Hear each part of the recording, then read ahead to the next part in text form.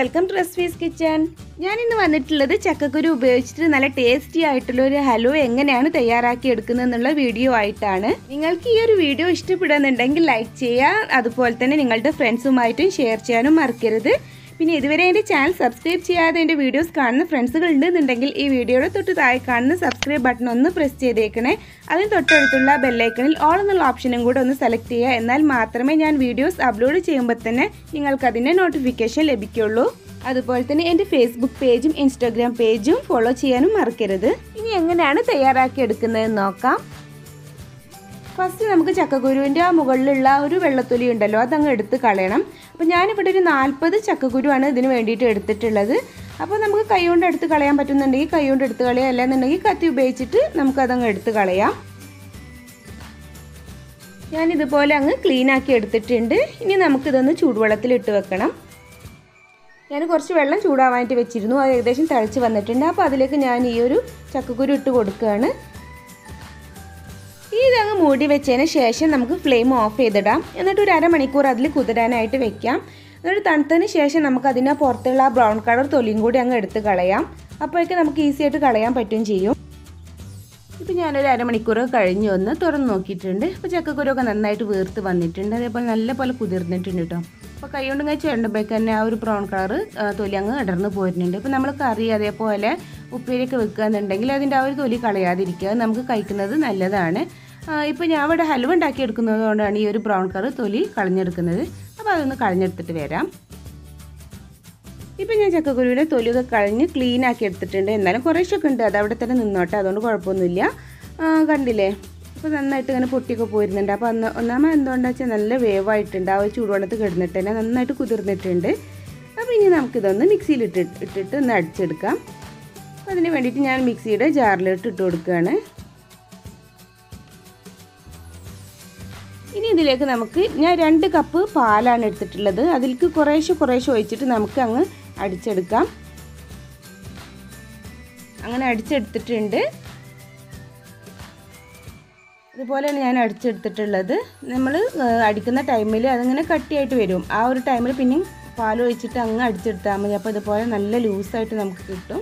അപ്പോൾ നമുക്ക് ഈ ഒരു രീതിയിലാണ് ഇത് അടിച്ചെടുക്കേണ്ടത്.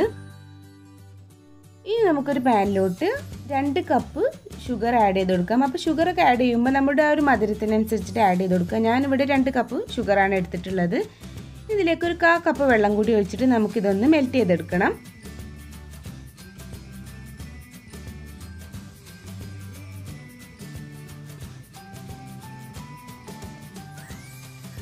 ഷുഗർ മെൽട്ടായിട്ട് വന്നിട്ടുണ്ട്. അപ്പോൾ ഞാൻ അതിലേക്ക് നമ്മൾ അരച്ച് വെച്ചിട്ടുണ്ടായിരുന്ന ചക്കക്കുരുവിന്റെയും പാലിന്റെയും ആ ഒരു മിക്സ്ചർ ഒഴിച്ച് കൊടുക്കുകയാണ്. ഇനി നന്നായിട്ട് അങ്ങ് മിക്സ് ചെയ്തെടുക്കാം. എനിക്ക് ഈ റെസിപ്പി പറഞ്ഞു തന്നിട്ടുള്ളത് എന്റെ അമ്മായിയാണ് കേട്ടോ ഒരിക്കലും നമ്മളിത് കഴിച്ചാൽ ചക്കക്കുരു എന്നൊന്നും ആരും പറയില്ല. അത്രയ്ക്ക് ടേസ്റ്റിയാണ് ഈ ഒരു ഹൽവ. അപ്പോൾ എല്ലാവരും ഇതുപോലെ ഒന്ന് ട്രൈ ചെയ്ത് നോക്കുക എല്ലാവരും വീട്ടിലും എന്തായാലും ചക്കക്കുരു ഉണ്ടാവാതിരിക്കില്ല നാട്ടിലുള്ള ആളുകളുടെ വീട്ടിലൊക്കെ.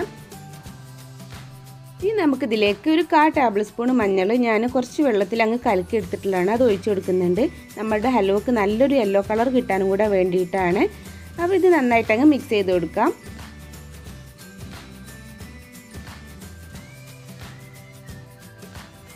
ഇനി നമുക്കിത് നന്നായിട്ട് അങ്ങ് കുറുകിയിട്ട് നമ്മുടെ ഈ ഒരു പാനിൽ നിന്ന് ഇങ്ങനെ അടർന്നു പോരുന്ന രീതിയിൽ നമുക്കിങ്ങനെ മടുക്കിയിടാൻ പറ്റുന്ന രീതിയിൽ അങ്ങ് നന്നായിട്ട് കുറുകിയെടുക്കണം.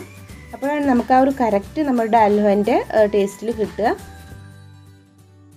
അപ്പം കുറച്ചൊന്ന് കുറുകി വന്നപ്പോൾ ഞാൻ ഇതിലേക്ക് കുറച്ച് നെയ്യ് ഒഴിച്ചു കൊടുക്കുന്നുണ്ട്. അപ്പോൾ ഒരു ടേബിൾ സ്പൂൺ നെയ്യാണ് ഇപ്പോൾ ഞാൻ ഈ ഒരു ടൈമിൽ ഒഴിച്ചു കൊടുക്കുന്നത്. അപ്പോൾ മൊത്തമായിട്ട് ഞാൻ ഇതിലേക്ക് അര കപ്പ് നെയ്യാണ് എടുത്തിട്ടുള്ളത്. അപ്പം നമുക്കിത് കുറേശ്ശെ കുറേശ്ശെ ആഡ് ചെയ്തിട്ട് അങ്ങ് മിക്സ് ചെയ്തെടുക്കണം.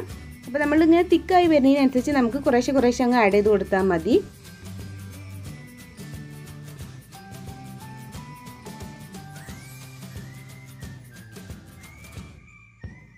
ഇപ്പം കുറച്ചും കൂടെ ഒന്ന് തിക്കായിട്ട് വന്നിട്ടുണ്ട്. അപ്പോൾ ഞാൻ ഒരു ടേബിൾ സ്പൂണും കൂടെ നെയ്യ് ഇതിലേക്ക് ഒഴിച്ച് കൊടുക്കുകയാണ്. ഇനി നമുക്ക് ഒന്നും കൂടെ നന്നായിട്ട് അങ്ങ് മിക്സ് ചെയ്തെടുക്കാം. എന്നിട്ട് വീണ്ടും ഇതുപോലെ അങ്ങ് നന്നായിട്ട് ഇളക്കിക്കൊണ്ടേ ഇരിക്കുക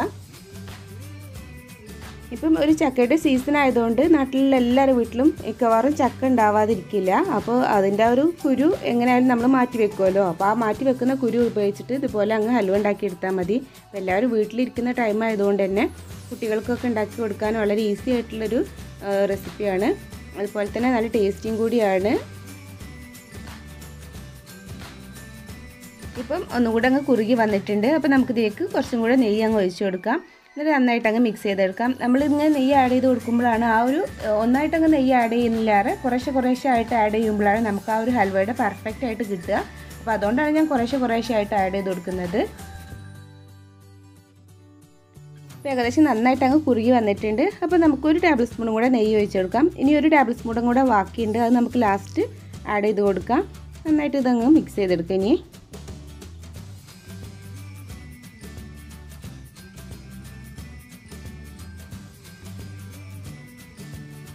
അപ്പോൾ നന്നായിട്ട് അങ്ങ് കുറുകിയിട്ടുണ്ട്. അപ്പോൾ ആ ലാസ്റ്റിലുള്ള ബാക്കിയുള്ള നെയ്യും കൂടെ അങ്ങ് ഒഴിച്ചു കൊടുക്കുകയാണ്. അപ്പോൾ നമുക്ക് ഇതിൽ ഈ ഒരു രൂപത്തിലല്ല ഇതിലാറ് തിക്കായിട്ട് നമുക്കിങ്ങനെ മടക്കിയിടാൻ പറ്റുന്നതായിട്ട് നമ്മളിങ്ങനെ ഇളക്കുന്ന ടൈമിൽ നന്നായിട്ട് അങ്ങ് മടങ്ങി ആ ഒരു നമ്മുടെ പാനിൽ നിന്ന് ഒട്ടിപ്പോരുന്ന രീതിയിൽ നമുക്കിതാക്കിയെടുക്കണം. അപ്പോൾ അതുവരെ നന്നായിട്ട് ഒന്നും കൂടെ അങ്ങ് കുറുക്കിയെടുക്കാം.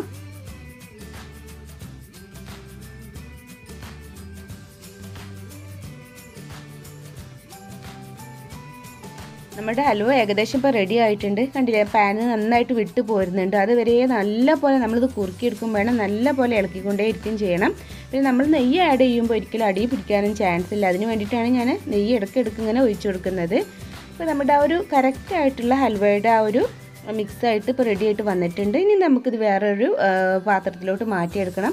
അപ്പോൾ നമ്മൾ ഏത് പാത്രത്തിൽ വെച്ചിട്ടാണോ കട്ട് ചെയ്യുന്നത് ആ ഒരു ഷേപ്പും കാര്യങ്ങളൊക്കെ അതൊക്കെ നമ്മുടെ ഇഷ്ടത്തിനനുസരിച്ചിട്ട് ചെയ്യുക അപ്പോൾ അത് നമ്മൾ ഫസ്റ്റ് തന്നെ കുറച്ച് നെയ്യൊന്ന് തൂവി കൊടുക്കണം.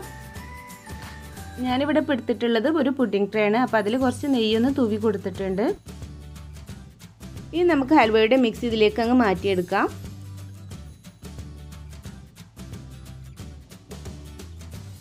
ഇതുപോലെ പതുക്കെ അങ്ങ് എല്ലാ ഭാഗത്തേക്കും അങ്ങ് സ്പ്രെഡ് ചെയ്ത് കൊടുക്കാം.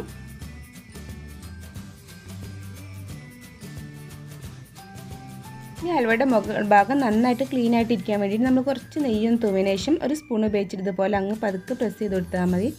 അപ്പോൾ നല്ല ക്ലീൻ ആയിട്ട് തന്നെ ആയിരിക്കും.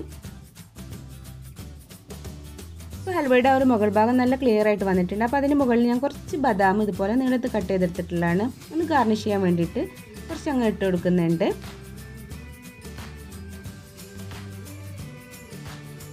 ഇനി നമുക്കൊരു സ്പൂൺ ഉപയോഗിച്ചിട്ട് പതുക്കെ ഒന്നങ്ങ് പ്രസ് ചെയ്ത് കൊടുക്കാം. ഒന്ന് നന്നായിട്ട് അങ്ങ് ഒട്ടി നിൽക്കാനും കൂടെ വേണ്ടിയിട്ടാണ്. ഇപ്പം നമ്മുടെ ഹൽവ റെഡി ആയിട്ടുണ്ട്. ഇനി ഇത് നമുക്ക് തണുത്തതിന് ശേഷം കട്ട് ചെയ്തെടുക്കാം. ഇപ്പോൾ ഇതിന്റെ ചൂടൊക്കെ പോയിട്ടുണ്ട്. അപ്പോൾ ഞാനൊരു കത്തി ഉപയോഗിച്ചിട്ട് അങ്ങ് കട്ട് ചെയ്തെടുക്കുകയാണ്. അപ്പോൾ കട്ട് ചെയ്യുമ്പോൾ ഷേപ്പും കാര്യങ്ങളൊക്കെ നമുക്ക് ഇഷ്ടത്തിനനുസരിച്ച് കട്ട് ചെയ്തെടുക്കുക. അപ്പോൾ നമ്മുടെ ടേസ്റ്റി ആയിട്ടുള്ള ചക്കക്കുരു ഹൽവ റെഡി ആയിട്ടുണ്ട്. എല്ലാവരും ഇതുപോലൊന്ന് ട്രൈ ചെയ്ത് നോക്കുക. ഒരു വ്യത്യസ്തമായിട്ടുള്ളൊരു ഹൽവ തന്നെയാണ്. എല്ലാവർക്കും ഇഷ്ടമാവും എല്ലാവരും വീട്ടിലുള്ള ഒരു ഇൻഗ്രീഡിയൻസ് വെച്ച് തന്നെ ഞാനിപ്പോൾ ചെയ്തെടുത്തിട്ടുള്ളതും. കണ്ടില്ലേ? നല്ല പെർഫെക്റ്റ് ആയിട്ടുണ്ട് നമ്മുടെ അലുവ വന്നിട്ടുണ്ട്. അപ്പോൾ എല്ലാവരും ഇതുപോലെ ഒന്ന് ട്രൈ ചെയ്ത് നോക്കിയതിന് ശേഷം നിങ്ങളുടെ ഫീഡ്ബാക്കിൽ എന്നെ അറിയിക്കാൻ മറക്കരുത്. അതുപോലെ തന്നെ നിങ്ങൾക്ക് ഈ ഒരു വീഡിയോ ഇഷ്ടപ്പെടാന്നുണ്ടെങ്കിൽ ലൈക്ക് ചെയ്യുക കമന്റ് ചെയ്യുക. അതുപോലെ തന്നെ നിങ്ങളുടെ ഫ്രണ്ട്സുമായിട്ടും ഷെയർ ചെയ്യുക. ഇനിയും ഇതുപോലുള്ള വെറൈറ്റി റെസിപ്പീസുമായി വരുന്നവരേക്കും ബായ് അസ്സാം വലൈക്കും